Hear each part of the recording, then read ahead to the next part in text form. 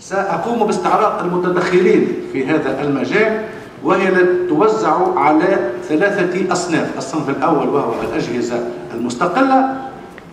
بداية السلطة القضائية بجميع أصنافها وخاصة من خلال إحداث مجمع قضائي متخصص الذي شرع في ممارسة مهامه وسينتقل بعد آه، مدة وجيزة إلى مقره الجديد في أواخر هذا الشهر أو بداية شهر جانفي ليمارس أعماله على وجه التخصص في مكافحة الفساد المالي خاصة بالنسبة للقضايا ذات البعد الدولي التي تستدعي إصدار إنابات قضائية دولية إلى الخارج كذلك وحدة المعلومات المالية وهي اللجنة التونسية للتحاليل المالية وهي هيكل مستقل منذ 2009 وأصبح مطابقا للمعايير الدولية وخاصة لتوصيات مجموعة العمل المالي وخاصة منها لمنطقة الشرق الأوسط وشمال أفريقيا. ومنذ شهر جويلية 2012 أصبحت هذه الوحدة مدرجة ضمن مجموعة إجمع الدولية المتعلقة بمكافحة غسل الأموال وتمويل الإرهاب وهذا مؤشر إيجابي على أن هذه الهيئة هي مستقلة. وتطبق المعايير المقررة دوليا.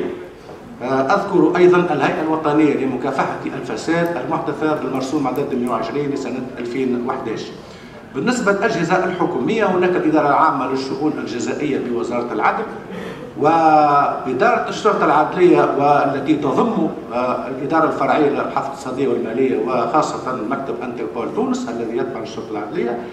ووزارة الشؤون الخارجية عن طريق بعثاتها الدبلوماسية ووزارة المكلفة بالحوكمة ومكافحة الفساد وكذلك وزارة أملاك الدولة والشؤون العقارية عن طريق مصالح المكلف العام بنزاعات الدولة الذي قدم العديد القضايا بالداخل وكذلك فإنه مكلف بمتابعة القضايا بالخارج وتكليف المحامين. طبعا كل ذلك بعد التنسيق مع اللجنة الوطنية لاسترجاع الأموال بالخارج.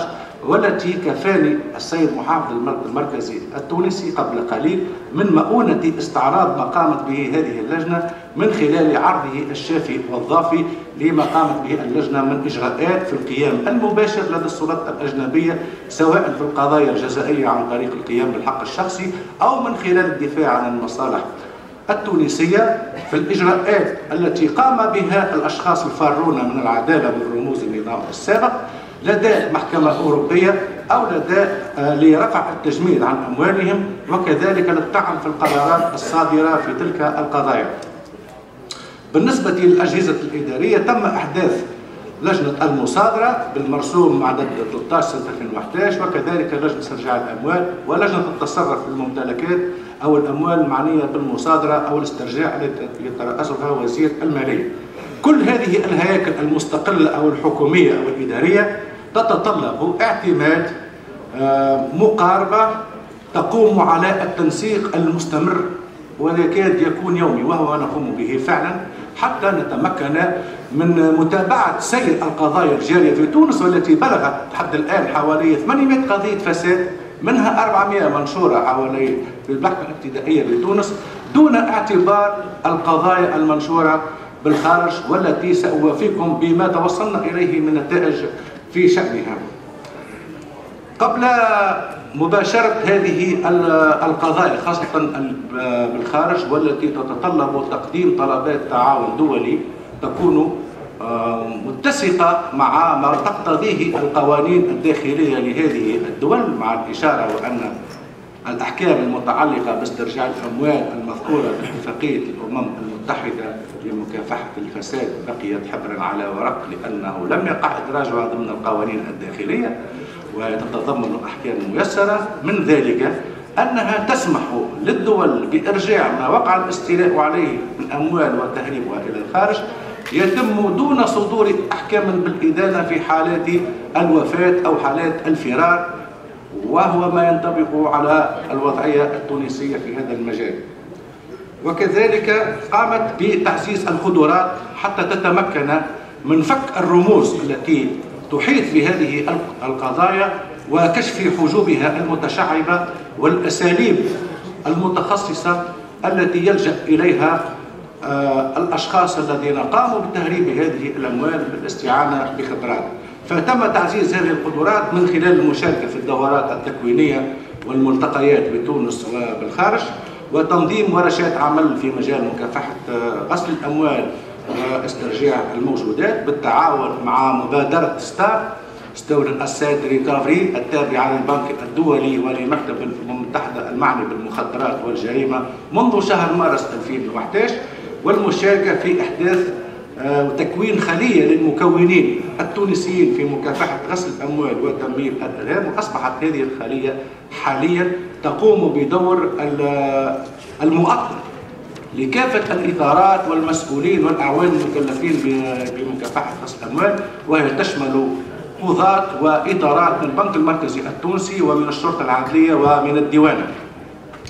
كما تمت الاستعانة بخبير سويسري في مجال صياغة مطالب التعاون القضائي الدولي وبخبير دولي في مجال التحاليل المالية لتقديم المعونة الفنية والمساعدة التقنية سواء للسلطات القضائية المتعهدة بقضايا استرجاع الأموال أو لدى اللجنة الوطنية لاسترجاع الأموال الموجودة بالخارج. كما تم تم اعتماد مقاربة تشاركية ومندمجة بين كافة المتدخلين، أول من يقوم باعمال التنسيق هي اللجنة الوطنية لاسترجاع الأموال الموجودة بالخارج. وتكاد تكون اتصالات يوميا بين كافة المتدخلين الذين استعرضتهم قبل قليل. كما تم التعاون مع المجتمع المدني من خلال الجمعيات العاملة في مجال الشفافية ومكافحه الفساد وتنظيم خاصة لقاءات مع الدول التي وجهت إليها طلبات مساعدة قضائية. تم تنظيم اللقاء الأول متعدد الأطراف يومي 11 و 12 جوان بمقر الاتحاد الأوروبي ببروكسل. شارك فيها السادة القضاة الذين أصدروا إنابات وممثلين النيابة العمومية في هذه القضايا وكذلك إدارات من البنك المركزي التونسي لجنة استرجاع الأموال ولجنة التحاليل المالية. وكذلك من وزارة الشؤون الخارجية. ثم ارتأينا أن هذه المقاربة لا تضمن ولا تكفل النجاعة والسرعة المطلوبين. فتم الاتفاق مع الدول المتعهدة بطلبات التعاون الدولي على عقد لقاءات ثنائية سواء بتونس أو بالخارج. ومباشرة بعد لقاء آه، بروكسل تم عقد لقاء آه، بسويسرا يومي 25 و 26 جوان 2012 كانت نتائجه مثمرة والدليل على ذلك أنه عقب هذه هذا اللقاء الذي تم خلاله الاتفاق على جملة من الإجراءات القانونية والمبسطة التي تكفل استرجاع الأموال إثرها تلقت السلطات التونسية مجموعة من الكشوفات البنكية التي ساهمت في كشف عمليات فساد أخرى وتمويل وتهريب أموال إلى الخارج. وهنا أذكر بكلمة من فك السيد عميد قضاء التحقيق وردد وهو على حق في ذلك بأن نصف الحقيقة موجود في تونس ونصف الحقيقة موجود في الخارج. ولا يمكن استكمال الحقيقة كلها لربط المصدر غير المشروع بالمال أو بالعقار الموجود في الخارج إلا من خلال تبادل المعلومات وبيان العلاقة السببية التي تثبت المصدر غير المشروع لما تم تحويله من أموال أو لما تم اكتسابه من عقارات أو منقولات أخرى. ثم تم عقد لقاء آه، ثاني في آه، مع السلطات اللبنانية لإقناعها باسترجاع ما تم تجميده من أموال منذ شهر آه، منذ سنة 2011 ونحن الآن في استكمال الإجراءات التي طلبت من السلطة التونسية في انتظار تحويل هذه الأموال إلى البنك المركزي التونسي. كما تم عقد لقاءات ثنائية مع كندا ومع فرنسا يومي 25 و 26 و 27 و 28 نوفمبر المنصرم أي قبل أسابيع بالقطب القضائي والمالي بباريس ومع إدارة التعاون الدولي القضائي في باريس. وتم التوصل إلى جملة من النقاط اتفاق عليها التي تمكن من تسريع نسق الاسترجاع سواء على مستوى التجميد أو الحجز أو الاسترجاع. ومع كذلك في منتدى الدوحة الذي عقد خلال شهر سبتمبر في إطار مجموعة الثماني آه، انتهزت البعثة التونسية التي كانت متكونة من من المتدخلين المذكورين آنفا من عقد لقاءات ثنائية على هامش هذه التظاهرة مع عديد من الدول منها آه، أمريكا وأنجلترا وإيطاليا وإسبانيا وفرنسا في الإمارات العربية المتحدة وسويسرا ووجدنا آذانا صاغية لتسريع وإجراءات استرجاع الأموال إلى تونس. للتذكير فأن السلطة القضائية التونسية بادرت بتوجيه أولى الإنابات التي كانت ترمي فقط إلى التجميد في المرحلة الأولى ريثما يقع الحصول على المعلومات التي تمكن من إثبات المصدر غير المشروع لهذه الأموال وقد بلغت هذه الإنابات 65 إنابة بين تكميلية وأصلية موزعة على 30 دولة. بإفريقيا وأوروبا وأمريكا وبعض والدول بعض الدول العربية. كما تم إدراج بطاقات الجلب الدولية الصادرة ضد أشخاص مورطين في ظل النظام السابق ووقع قبول هذه البطاقات من قبل منظمة الانتربول وإدراجها ضمن النشرة الحمراء التي هي تعتبر أرقى النشرات. ولعل ما ذكره قبل قليل السيد وزير العدل من خبر عاجل بأنه وقع القبض على صخر الماطري يوم أمس في السيشيل. هو يؤكد ذلك.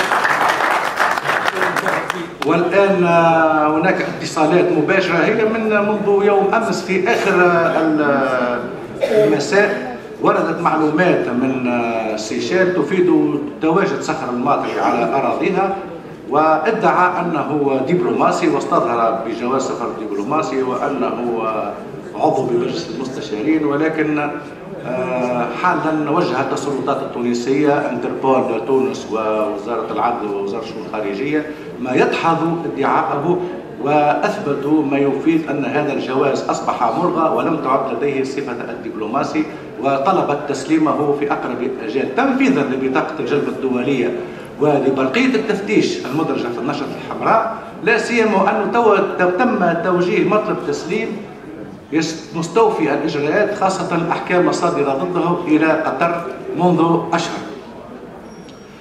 كما أفيدكم أنه صدر قرار عن محكمة التعقيب الإيطالية خلال شهر سبتمبر 2012 قضاء برفض مطلب مطلب الطعن المقدم من معز الطرابلسي في مطلب التسليم المقدم إلى تونس.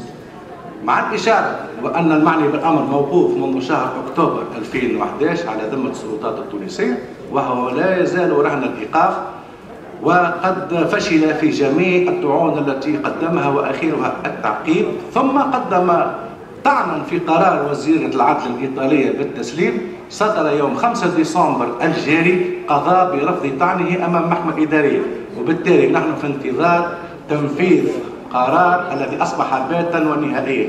أذكر هذا لأبين لكم أنه ما يستغرقه الأمر من أجال هو نتيجة الإجراءات والطعون المقدمة لو نقوم بعملية حسابية من شهر أكتوبر لديسمبر اللي هم 14 شهر وما تخللها من طعون ابتدائي واستئناف وتعقيب وطعن المحكمة الإدارية أراه أنه أجلا معقولا. في خصوص آه، الإجراءات وهو نفس الأجال المقررة حتى الجريمة العمل حتى لدى الدولة التونسية. في آه، في إسبانيا أيضا لدينا قضية في التعقيب أيضا صدرت لصالح الدولة التونسية خلال شهر نوفمبر 2012 نحن في انتظار استرجاع ما تم حجزه تنفيذا لإنابة قضائية تكميلية صادرة عن السلطات القضائية التونسية. ونظرا للزخم والكم الهائل من القضايا الجارية بتونس وبالخارج تم إحداث خلية للمتابعة بوزارة العدل لتقوم بالتنسيق بين كافة المتدخلين وتيسير أعمالهم لتتمكن من تلبية مطالب الجهات الأجنبية من وثائق ومن مؤيدات وكذلك من قبل السلطات التونسية المعنية بهذا الموضوع. وقد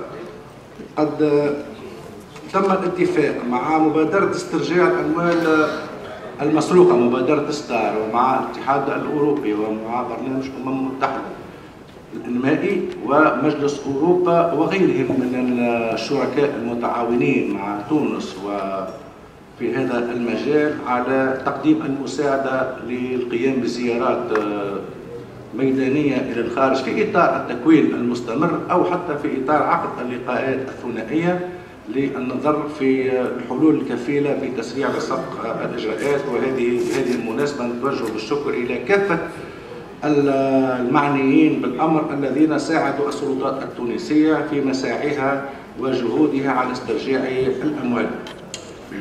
خلال شهر جوان 2012 وعقب اللقاء مع السلطات القضائية السويسرية وكذلك السلطات الإدارية آه، استقبلت تونس وفدا من الشرطة الفيدرالية خلال شهر أواخر شهر جوان وبداية شهر جويلية وفدا من الشرطة الفيدرالية السويسرية وقام بالتثبت والتحقق مما تم تضمينه بالإنابة الدولية من وجود عصابة إجرامية كانت في تونس وزعت القطاعات حسب اتفاق مسبق بينهما وهذا ما يثبت النية الإجرامية بخصوص تكوين عصابة المفسدين التي تقوم على الاتفاق المسبق.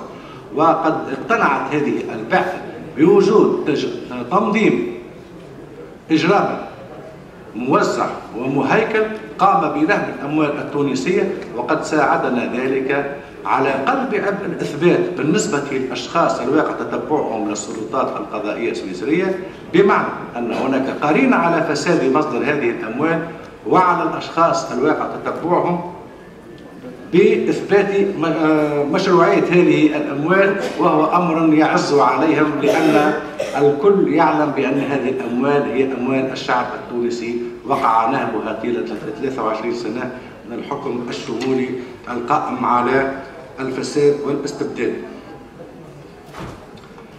آه، يوم 26 نوفمبر 2012 صدر ترتيب أو قرار عن مجلس أوروبا يتعلق بتجميد الأموال في الدول الاتحاد الأوروبي وأذكر هنا أنه عقب الاجتماعات التي انعقدت ببروكسل بين البعثة التونسية وبقية نظرائهم من الدول الأوروبية ومسؤولية الاتحاد الأوروبي وتم في خلال تلك اللقاءات وعد السلطات التونسية بأنه سيقع اتخاذ قرار سياسي يساعد في استرجاع الأموال وهو ما تم فعلا بأنه يقع حث هذه الدول على تبادل المعلومات التي من شأنها تيسير إجراءات الكشف عن الأموال وتجميدها وحجزها